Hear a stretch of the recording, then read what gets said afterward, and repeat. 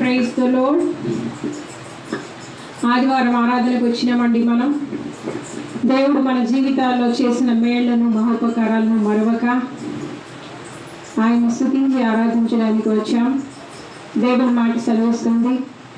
నా ప్రాణమా యహోవాను సమ్మతించము ఆయన చేసిన ఉపకారములలో దేనిని మరవకుము?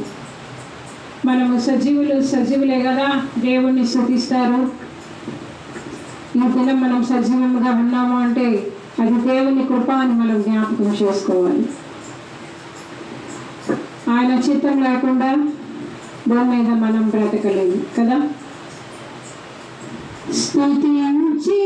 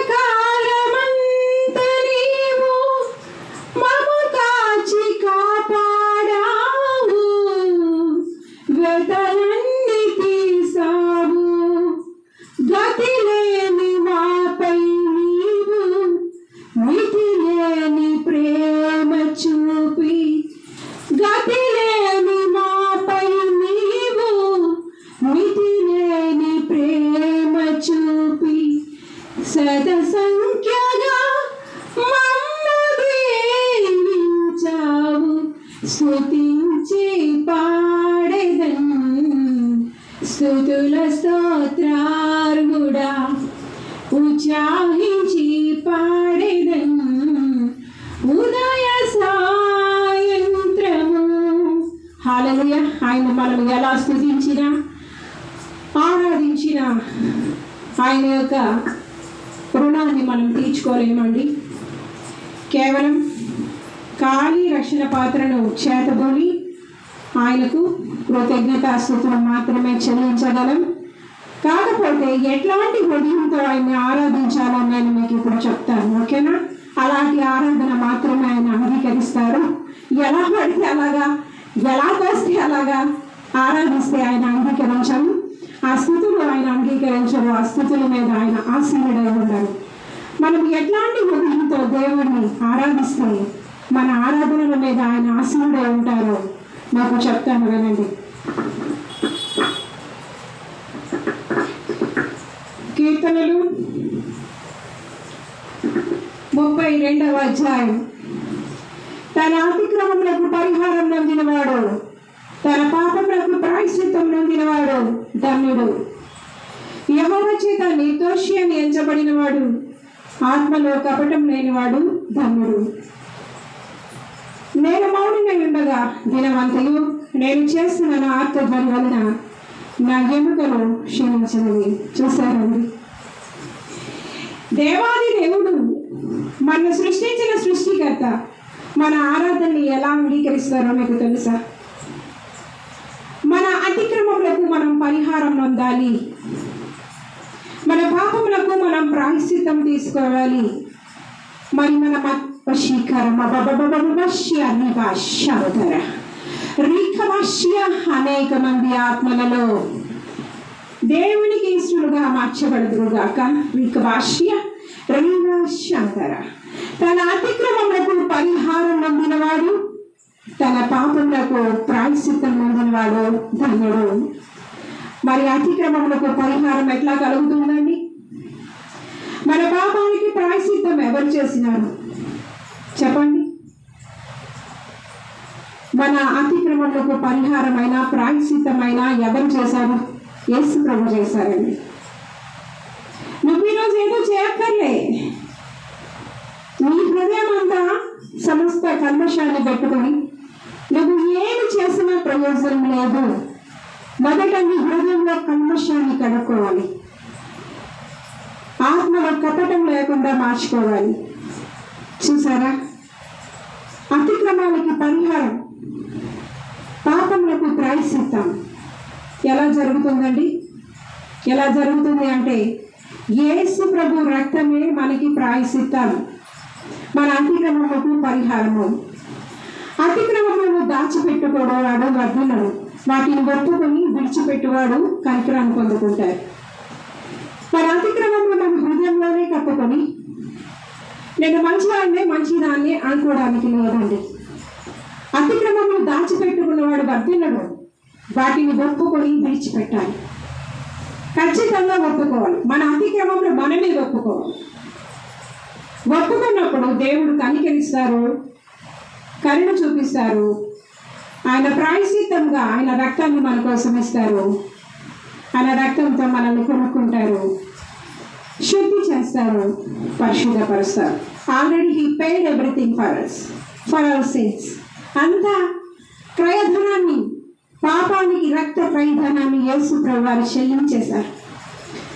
ఉచితంగానే నీ పాపాలకి పరిహారం చేయడానికి నీ యొక్క అతిక్రమాలకి ప్రాయశ్చిత్తం చేయడానికి ఇచ్చేసారా తన అతిక్రమములకు పరిహారం నందినవాడు పాపములకు ప్రాయశ్చిత్తం నందినవాడు తండ్రి యెహోవా చేత నిర్దోషి అని ఎంచబడినవాడు ఆత్మలో కపటం లేనివాడు తల్లెడు. మరి యెహోవా చేత నువ్వు ఎట్లా నిర్దోషిగా ఎంచబడుతున్నావు? ఏం చేసినా నువ్వు నిర్దోషిగా ఎంచబడవండి. సమస్త కల్పుషాన్ని ఆ యొక్క అతిక్రమాన్ని ఆ యొక్క పాపాన్ని నువ్వు ఏం చేసుకోవాలంటే యేసు ప్రభు రక్తంలో శుద్ధి చేసుకోవాలి. శుద్ధి చేసుకోవడం ప్రారంభించాలి. అప్పుడే నీవు దేవుని చేత దేవాది దేవుని చేత నువ్వు నిర్దోషిగా ఎంచబడతావు. అప్పుడు నీకు ఆత్మలో కపటం ఉండదు నీకు. వెతికినా దొరకదు. పాపం వెతికినా నీ నీకంటే షికర బాబా షి అని అంటారు రీక్ వాష్య వైశ్య అంటారు అనేక మంది అనేక మంది ఆత్మలో కపటం లేని వారుగా మార్చబడుతురుగాక రీకవశ్య ఈ విషయమై కొద్దిగా ధ్యానించుకుందాం చూడండి. ఇదే కీర్తనము ఎనభై ఐదవ అధ్యాయం రెండవ వచనం.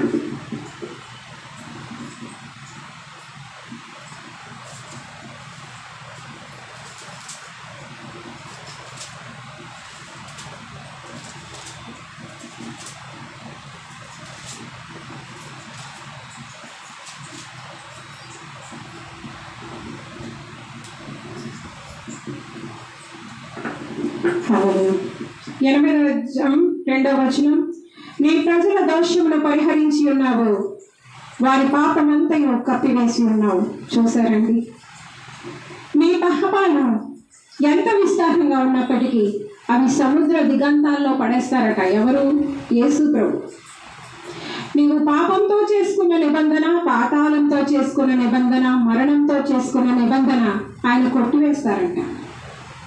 ఆయన మరణపు ముళ్ళు విరిచారు ఇక్కడ ఏం చేస్తున్నారట? నీ ప్రజల దోషమును పరిహరించి ఉన్నావు. వారి పాపం అంతా కప్పివేసి ఉన్నావు. చూసారా? మరి నీ పాపాలు ఎక్కడికి పోతాయి అనుకుంటున్నారు? ఏసు ప్రభావాలు కప్పేస్తారు ఇంకా అవి కనబడవు నీకు ఇంకా. నీ పాప దోషాన్ని నువ్వు ఇంకా మోయక్కర్లేదు ఇప్పుడు ఒక నరహత్య చేశారనుకోండి ఎవరైనా. వాళ్ళకి ఆ యొక్క హత్య చేసేమో అన్న ఒక పరిస్థితి వాళ్ళ హృదయంలో ఎప్పుడు తినేస్తూ ఉంటారు. ఇది పాపభారం అంటారు దాన్ని. ఏ తప్పిదం చేసినా ఆ భారం అనేది హృదయంలో మోస్తూ ఉంటారు. అవునా? ప్రయాసపడి భారం మోసుకుంటా సమస్త జన్మారా నా ఎద్దకు రండి. నేను మీకు విశ్రాంతి ఇస్తాను అని ఆయన చెప్తున్నారు. ఒకవేళ ఏ పాపమన్నా ఏ దోషమన్నా మీరు మోస్తున్నారేమో? మీకు పరిహారం చేసేవారు ఒకే ఒక వ్యక్తి. మీ పాపాలు కప్పివేసే వ్యక్తి. ఇక దోషమును పరిహరించే వ్యక్తి ఒకే ఒక వ్యక్తి ఈ లోకంలో ఉన్నారు. ఆయన యేసు ప్రభు వారు ఆయన యేసు ప్రభు వారు బాగా అర్థం చేసుకోండి ఇక్కడ చూద్దామండి కీర్తనలు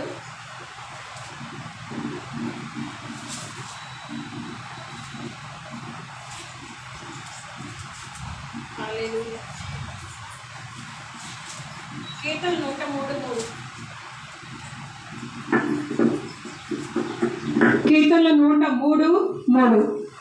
ఆయన నీ దోషములన్నిటినీ క్షమించేవాడు. నీ సంకటములన్నిటినీ కుదర్చువాడు అర్థం చేసుకోండి.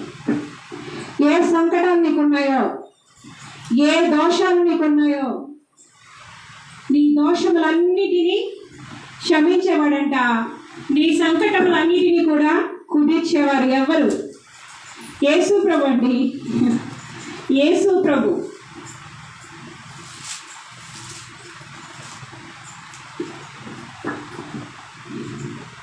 సెకండ్ కొరింతియన్స్ ఐదు పంతొమ్మిది చూద్దామండి. సెకండ్ కొరింతియన్స్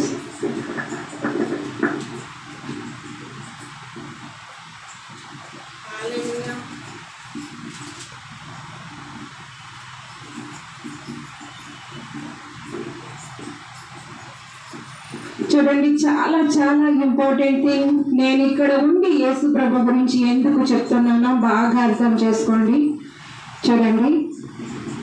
అదేమనగా దేవుడు వారి అపరాధములను వారి మీద మోపగా క్రీస్తునందు లోకమును తనతో సమాధానపరుచుకొనుచు ఆ సమాధాన వాక్యమును మాకు అప్పగించను.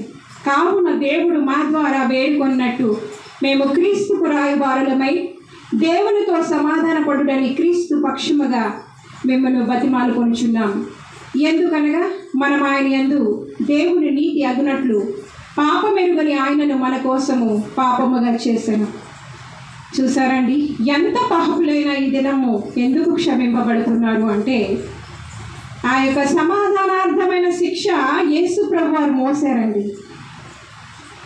దేవునితో తండ్రితో మన ఐక్యపరచడానికి మన ఎవరైతే పుట్టించారో ఆ దేవుడితో మన ఐక్యపరిచి మన పరిశుద్ధపరిచి ఆ యొక్క నిత్య రాజ్యానికి వారసులుగా చేయడానికి మన సమాధానార్థమైన శిక్ష యేసు ప్రభు వారి యొక్క శిఖర వారి వైశ్యాంబర చూడండి ఆయన మీద పడింది. దేవుడు వారి అపరాధములను వారి మీద మోపగా క్రీస్తునందు లోకమును తనతో సమాధానపరుచుకొనుచు ఆ సమాధాన వాక్యమును మాకు అప్పగించను. ఇప్పుడు ఎందుకు మేము ఇక్కడ ఉన్నామంటే మేము క్రీస్తుకు రాయబారులుగా ఉన్నాము ఎందుకు ఏ విధంగా అంటే అన్ని లోకం యొక్క మనుషుల అపరాధాలన్నీ కూడా వాళ్ళ మీద ఉంచకుండా క్రీస్తు మీద మోపేశారు ఎవరు? తండ్రి. దేవుడు. మన అపరాధ శిక్ష ఆయన భరించారు. ఇప్పుడు మనం తండ్రితో మన సమాధానపరుస్తున్నారు. తండ్రితో మన ఐక్యపరుస్తున్నారు. దేవుడితో మన ఐక్యపరచడానికి దేవునితో మన సమాధానపరచడానికి మన అపరాధములను ఎవరు మోసారు? యేసు ప్రభువారు మోసారు. ఈ విధంగా మనం మన అతిక్రమముల కొరకు పాప ఇదివరకు పాత నిబంధనలో ప్రతి పాపానికి ఒక బలి ఉండేది. ఏ పాపమైనా ప్రతి దానికి ఒక బలి ఉండేది. ఆ విధంగా బలులు చేసి వాళ్ళ యొక్క పాపానికి ప్రాయశ్చిత్తం చేసుకునేవారు. ఇక్కడ ఏం జరిగిందంటే ఆ విధంగా తండ్రితో వారు సమాధాన పడేవారు. ఇప్పుడు మనం తండ్రితో సమాధాన పడడానికి మన అపరాధ మూల్యం అంతా ఎవరు చెల్లించారు? యేసు ప్రభు చెల్లించారు. అంటే మన దోష శిక్ష అంతా మన పరిహార మన పాపం అంతా పరిహారానికి ప్రాయశ్చిత్తానికి ఎవరు బలైపోయినారు? యేసు ప్రభు బలైపోయినారు. ఈ విధంగా తండ్రితో సమాధాన పరిచయం మరి మేమెందుకున్నాము అంటే ఆ సమా ఆ సమాధానపు వాక్యమును మాకు అప్పగించారు అంటే మీరంతా ఈరోజు సమాధాన పడడానికి మేము కారణం మీకు అర్థమైందా ఎంత పాపులైనా ఎంత దోషులైనా ఈరోజు తండ్రితో ప్రభువుతో ఐక్యపరచడానికి మమ్మల్ని ఎలా ఉంచారు మీకు ఇక భాష్య తనతో సమాధాన పరుచుకో శివరవ శివరవ కుక్కు కుక్కు అంటారు ఆ సమాధాన వాక్యమును అనేక మంది యేసు ప్రభుతో తండ్రితో సమాధాన పరచబద్రుగాక వారి ఎవరైతే ఈ దినాన్న పాప భారం మోస్తున్నారో నేను చేసిన తప్పు నేను నాకు ఎట్లా ప్రాయశ్చిత్తం అవుతుంది? ఎలా అయితే నా పాపం పోతుంది? మీరు చేయాల్సిందల్లా ఒక్కటే. యేసు ప్రభుతో సమాధాన పడాలి యేసు ప్రభుకి వ్యతిరేకంగా మారకండి. ఆయనతో సమాధానం పడినప్పుడు మీ పాప శిక్ష అంతా ఆయన ఆల్రెడీ మోసేసుకున్నారు కనుక అది ప్రాయశ్చిత్తం చేసేస్తారు పరిహారం చేసేస్తారు మీకు తండ్రితో ఐక్యపరుస్తారు. మీ చేతి చేతమైన వర్షంతర ఆయన మీ చేతిని పరలోకపు తండ్రి చేతికి అప్పగిస్తారు. మీకు అర్థమైందా? ఆ సమాధాన వాక్యాన్ని చెప్పడానికి ఈ దినం మమ్మల్ని ఈ స్థలంలో పెట్టారు. మీకు అర్థమైందా? ఎంత గొప్ప మరణం దాగి ఉందో మీకు తెలుసా? యేసు ప్రభులో చూడండి. కావున దేవుడు మా ద్వారా వేడుకున్నట్టు మేము క్రీస్తుకు పురాయబారులమై దేవునితో సమాధాన పడమని క్రీస్తు పక్షముగా మిమ్మల్ని బతిమాలుకుంటున్నాం. చూసారండి దేవుడు మా ద్వారా వేడుకున్నట్టు మేము క్రీస్తుకు రాయబారులంగా ఉన్నాం. ఏ విధంగా రాయబారులంగా ఉన్నామంటే దేవునితో సమాధాన పడుదని క్రీస్తు పక్షముగా మిమ్మల్ని బతిమాలుకుంటూ ఉన్నాం. అర్థం చేసుకోండి. క్రీస్తు పక్షముగా దేవుడితో సమాధాన పడండి అని చెప్పడానికి మేము రాయబారణంగా ఈ స్థలంలో ఉన్నాం. మీకు అర్థమైందా? మీ అతిక్రమములు మీ పాపములకు ప్రాయశ్చిత్తం పరిహారం ఎక్కడ దొరికిందో మీకు తెలిసిందా? మరి యేసు ప్రభు ద్వేషిస్తారేంటండి? అంతగాని మనందరి కోసం చేస్తే యేసు ప్రభు దూషిస్తారేంటి ద్వేషిస్తారేంటి? మమ్మల్ని తండ్రితో సమాధాన పరచడానికి ఆయనే ప్రాయశ్చితం అయిపోయారు కదా.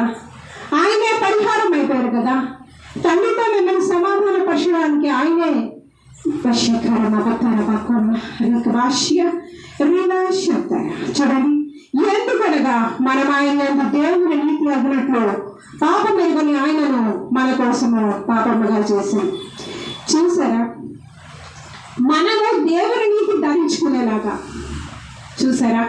దేవుని నీతి మనం ధరించుకునేలాగా నీతిమంతులుగా మనం మార్చబడేలాగా పాప ఎరుగని యేసు ప్రభువారిని పాపంగా చేశారు. మీకు అర్థం చేసుకోండి.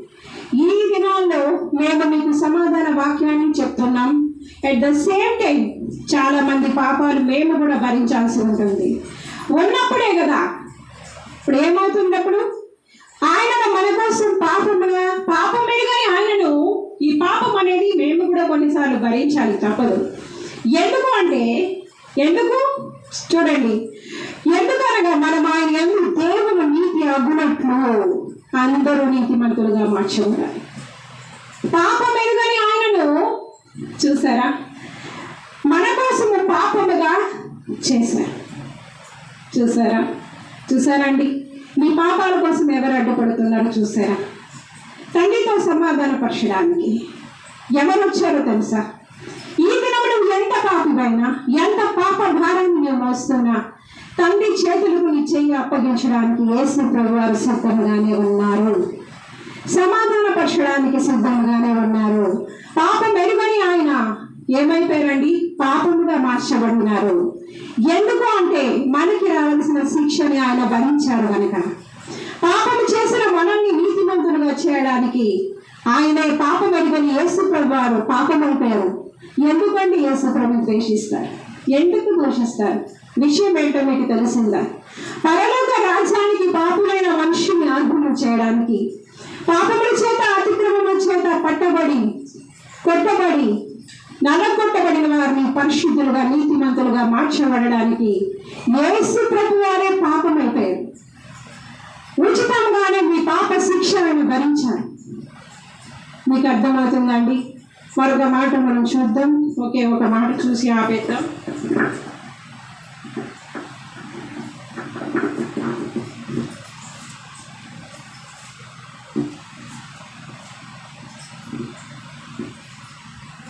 రోమా నాలుగు ఏడు ఎనిమిది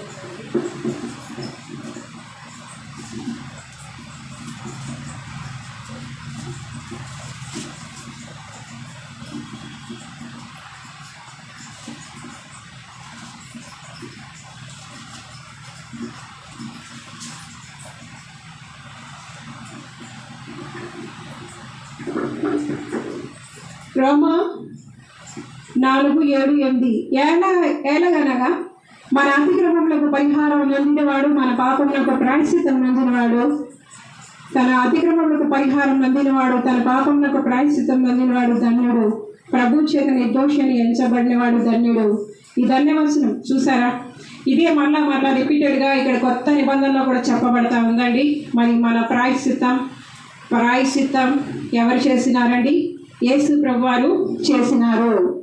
యేసు ప్రభువారు మన అతిక్రమములకు మన పాపములకు ప్రాయశ్చితం అయిపోయినారు ఈ దినం అందరినీ దేవునితో సమాధానపరచడానికి ఆయనే సమాధాన అధిపతిగా వచ్చారు. Jehovah Shalom.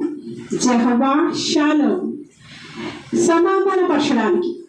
చూసారా? దేవునితో పరలోకపు తండ్రితో మనల్ని సమాధానపరచడానికి యేసు ప్రభు వారు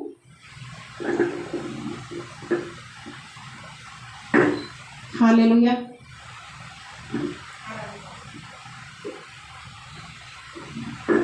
హల్లెలూయా హల్లెలూయా హల్లెలూయా హల్లెలూయా ఆరాధన చేసుకుందామండి.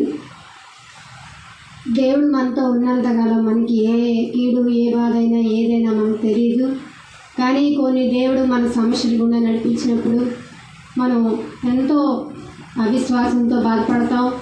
దేవుడు కూడా మర్చిపోతాం అయినప్పటికీ దేవుడు తన ఉచితమైన కృప ద్వారా మళ్ళాటోలు ఇంతవరకు నడిపించాడు ఈ సంవత్సరంలో. రెండు వేల ఇరవై నాలుగు సంవత్సరం ఈ యొక్క మే నెల ఈ పన్నెండో తారీఖున దేవుడు ఈ క్షణంలో క్షమ అందరినీ కాచి కాపాడి భద్రపరిచాడు. అందుని బట్టి దేవుని నామానికి లెక్కలేని స్థుతులు, స్తోత్రాలు చెల్లించుకుంటున్నాం. ఆరాధన చేసుకుని ఆహాహా